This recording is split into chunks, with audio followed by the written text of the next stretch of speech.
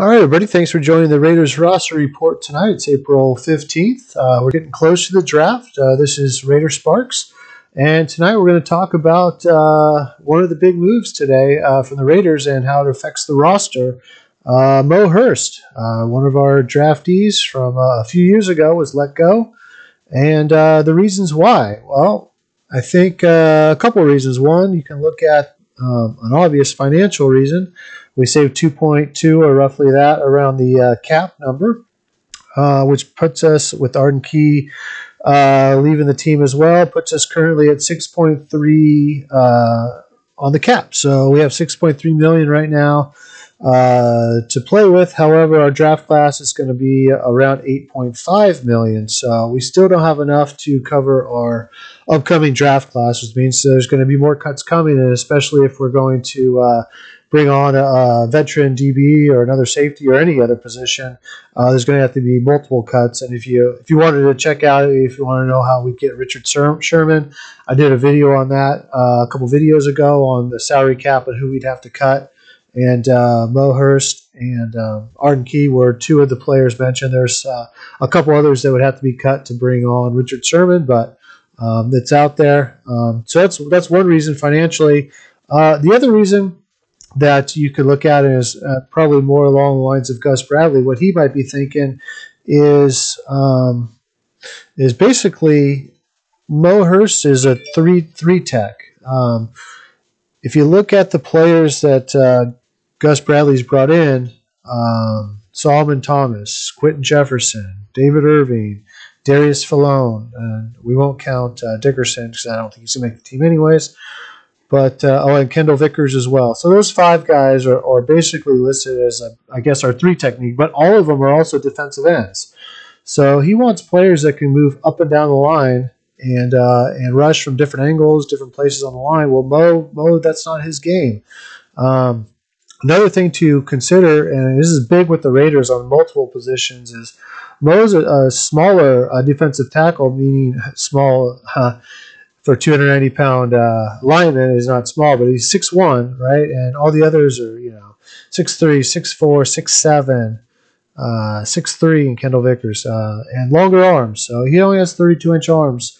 Um, wingspans is 76, so he doesn't really fit the uh, profile either. So I think there was a big mixture. I mean, uh, obviously, and it was at the end of his contract anyway, so it's better for Mo. He can go uh, get a shot somewhere else. But I just don't think, you know, financially, I, I think if you, from Mayock's standpoint, it, it made sense to let him go since you brought these other guys in. And, and I think Gus, from a from a, a trait standpoint of what he's looking for in the tackle, I don't think Mo actually meets that requirement. Um, plus, Solomon Thomas, I mean, he's he's guaranteed 2.7 million, or if you cut him, it's 2.7 against the cap. Quinton Jefferson, two million against the cap. Um, so those two guys, I'm very confident they're going to uh, to make the team.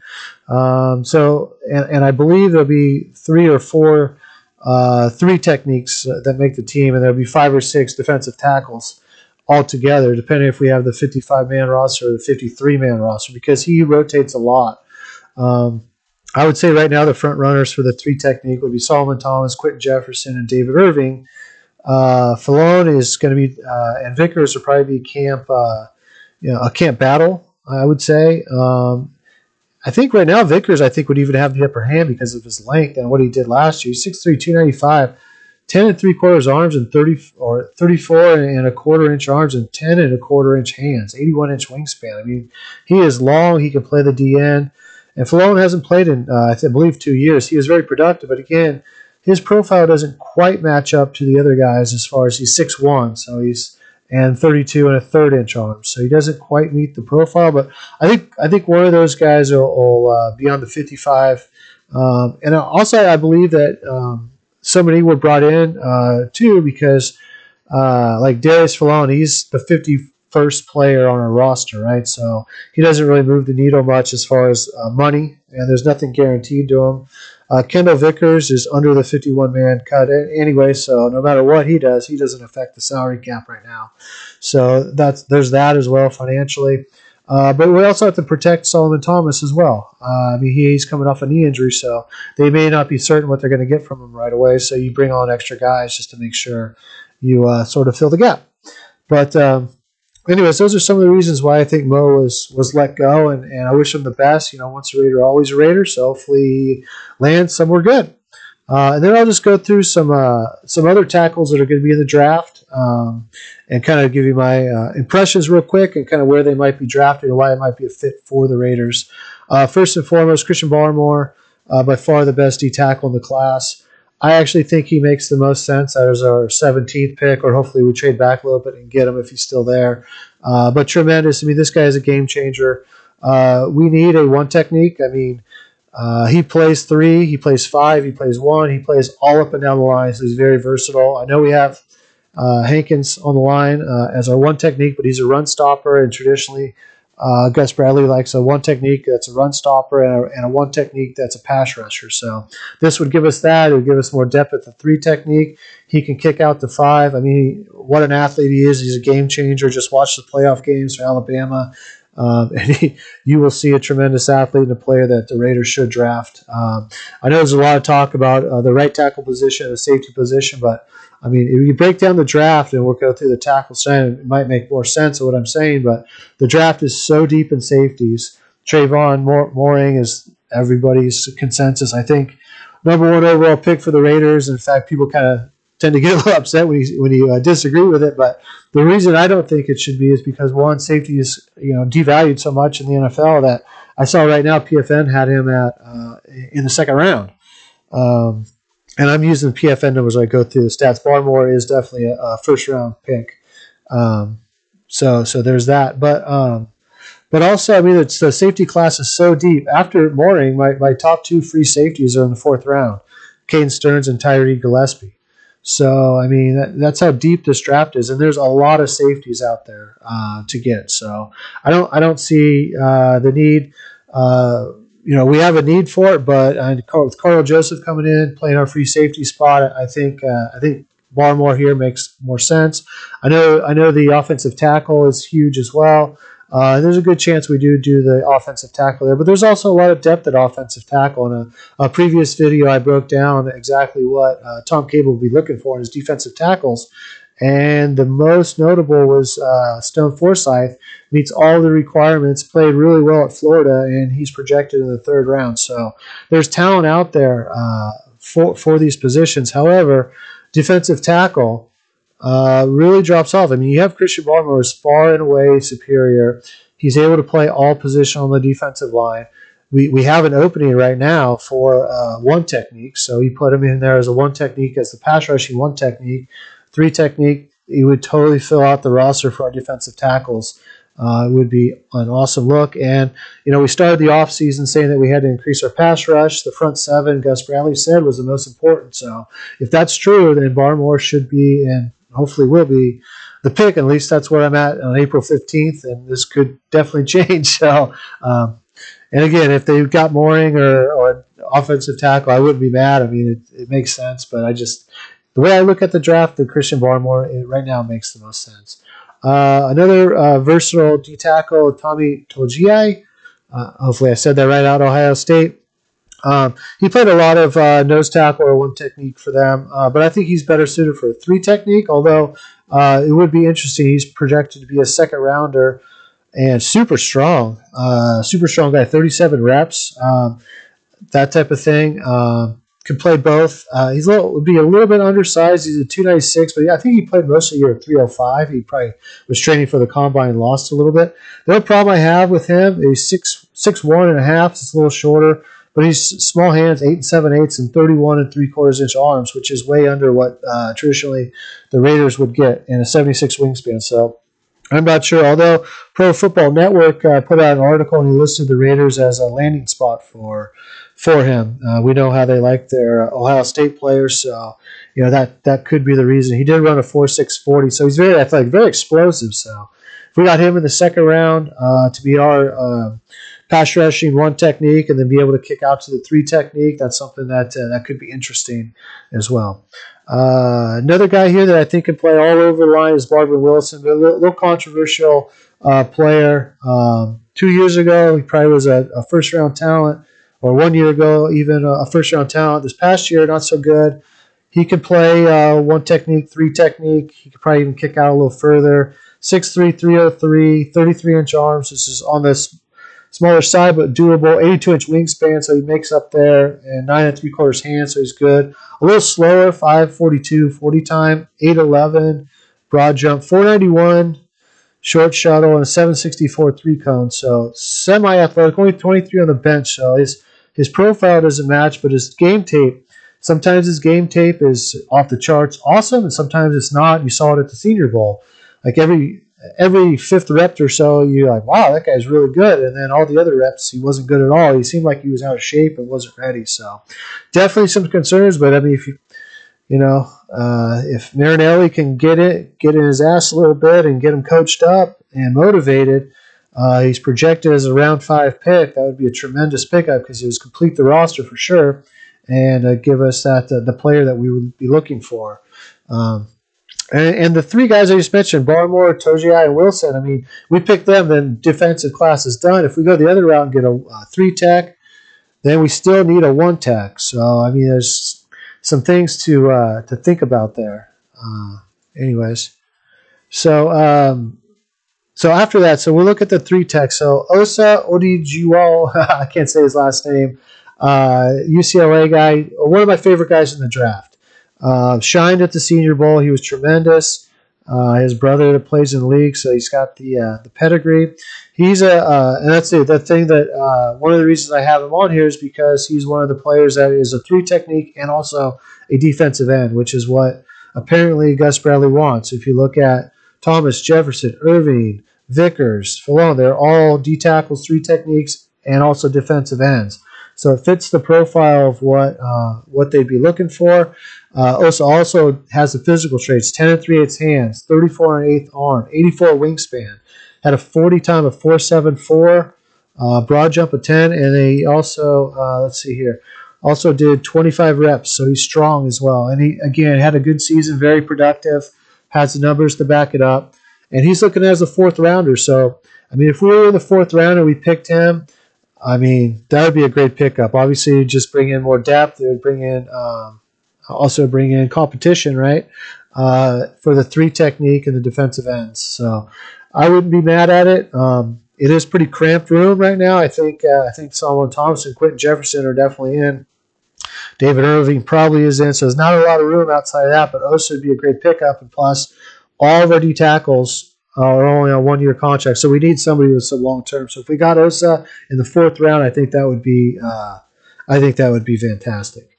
Um, and I just wanted to uh, back up one second. There was another guy that does play the one tech and the three tech is Jonathan Marshall out of Central Arkansas. Um, not as much sack production, but uh, overall he did he did okay numbers. Had a great combine, uh, very athletic, uh, 6'3", 310, uh, 4'7", which is really good. 32 vert, which is good. 36 reps on the bench press, so he's super strong, but has to do some of that with his arms, 32 and a half, so a little shorter um, than you might want. But I mean, uh, a late round guy, um, I think he's projected in the third or fourth round, I want to say, uh, from PFN. Other draft sites have him almost undrafted, so there's going to be a law, or oh, actually, you know what? PFN has him round five, so that would be a good pickup at round five because he does both. If, if we weren't able to get uh, Barmore, Togiai, Wilson, uh, Jonathan Marshall, you know, picking him up in the fifth round to sort of complete our roster would not be a bad thing. Um, so let's go down here and we'll look at Ta'Quon Graham out of Texas. Uh, he does. He plays the three tech, four tech, so he can kick outside a little further, which is obviously what uh, what Gus wants. Uh, he's projected by PFN as a six round pick, 6'3", 290, 34 and 7 8 inch arms, 85 and 8 wings, uh, uh, wingspan, 10, 5 8 hands. So physically, he has the tools that we'd be looking for 494 40, uh, 32 and a half vert, 9.5 broad jump, 489 short shuttle, and 32 reps on the bench press. This guy's a really good player. I'm not sure why he's only in the sixth round. I think it's just some of the production, some of the technical issues, but as far as all the physical traits, this guy has it everything. We look at him; he's huge. Um, would be a tremendous pickup for us. Uh, but again, crowded room with that three technique. But uh, we are late in the draft now in the sixth round, so if we ended up getting him there, I think that's more than worth it. So I would put him on the radar in your sixth round for you doing your mock drafts as a, a potential candidate. Um, so now if we look at the one techs only or the nose tackles, far and away, Alim McNeill is the is the best one. Uh, no doubt, no doubt about that. Um, so he's uh, 6'2", 320, a little bit of short arms, 32 and 5 eighths, uh, but he did run a 4.9440, which is great for a guy that size. 27 reps on the bench. Uh, he gets in the backfield in his career, 17 and a half tackles for loss. Not as many sacks, but I think he's one of these players when he gets NFL coaching and gets some pass rush moves, he has that pass rush potential. So I know that we have Hankins already as our one technique, and so you're kind of bringing in a, a similar player as as a run stuffer, which he is. But I think there's some upside there, some untapped uh, potential for some pass rush. The only problem that I have with this pick, it's round two. I don't know if we want to do a one technique uh, pick a one technique in round two, maybe a little early. Um, if we trade it back and end up with two second round picks, you know, trade back in the first and get that extra second, um, then there's a possibility. So just keep him on the radar. Um, so another guy uh, that uh, you could have on the radar is Tyler, uh, Tyler Shelvin big dude. Obviously, you can see by the picture, uh, LSU guy. One technique, uh, run stopper. So this is Jonathan Hankins. So Jonathan Hankins is a one-year deal. If we want to get him a backup to do similar things and stop the run, this would be uh, this might be the guy to do it. The only problem is projected in the fourth round, which again, fourth round's not bad, but still maybe a little early. 6'2", 350, 33, and 5 8 arms, 10 and a quarter hands, 540. Um, 40 time, 9.7 broad jump, 505 three cone, or 505 short shuttle, 815 three cone. So, you know, obviously that a man that size is not going to be super fast or quick, and you don't want him to be. He just needs to be super strong. And on tape, he shows that he's super strong, and he can definitely stop the run. So uh, uh, another one technique is one of my uh, my favorites in the draft. Tedarrell Slaton out of Florida. Uh, one technique. PFN has a uh, um, going in the seventh round. I've seen other mocks that has them up in like the, you know, bottom four, top five type projection. Um, I'll be honest with you, this is the guy that when I, I watched him uh, of all these tackles, probably the most tape on him, and I was surprised by the combine numbers. He looked uh, a lot uh, different on film, it's, but his combine number is 6'4", 330, 9 and an eighth uh, hands, was a little small, 32 and 5 eighths arms, 80 inch wingspan, so a little bit smaller on the arms 509 40, which is good, right, for a guy that size. Uh, 29 vert, 91 broad jump, 481 short shuttle, and 791 three cone, 27 reps, um, and that type of thing. But he actually seemed even quicker to me uh, on film. Like he has light feet. I don't know how a guy that size would have light feet, but um, he to me he has a, a, like Alim McNeill, a lot of untapped tap pass rush ability. So I think he would be a tremendous pick. We got round seven. If we pick, got him in round seven, that would be awesome because he is a great run stopper. He's super strong. He's a big dude. He can play the one technique. But there's pass rush moves there. He showed it sometimes in college, but I just think uh, with some better coaching, we'd have a heck of a pass rush on our hands here. And uh, I would love it if he ended up being a Raider, especially if we got him in the seventh round. Okay. And the last one is Quinton Bohanna, another large dude like Tyler Shelvin uh, out of Kentucky, uh, projected in the seventh round, 6'4", 327. But he's got 34 inch uh, arms, 10, 7 8 hands, 87 8 uh, wingspan. So he's got the prerequisite the long arms, big hands, 5, 5.34, uh, 40. So he's athletic, 29 vert, 8'3 broad jump. So he is a total run stuffer. Uh, I don't think as much as the pass rush, but if we wanted to get somebody longer term, and get somebody trained under Hankins, uh, this would be a, a, pick possibly. And and why not in the seventh round take a shot if we haven't gotten one of the other guys? But uh, anyways, that's the end of the uh, Raiders roster report for tonight. Hope you enjoyed it. Um, maybe circle some of those guys for your uh, mock drafts as some possibilities. But um, again, Barmore's far and away the best, and there's a significant drop off after that. Uh, we go all the way down to the fourth round, I think, before we would pick anybody else. So it'd be Barmore in the first, or I don't think we'd get a D tackle till uh, till somewhere in the, the fourth, unless we went with uh. Second round is a possibility, but I kind of doubt it just because he's 31 inch arms. Uh, I know that uh, Pro Football Network did project him as possibly going to the Raiders, but something tells me he may not be the, the fit for us. Alim McNeill, I only see that in the second round if we get a, a second second round pick.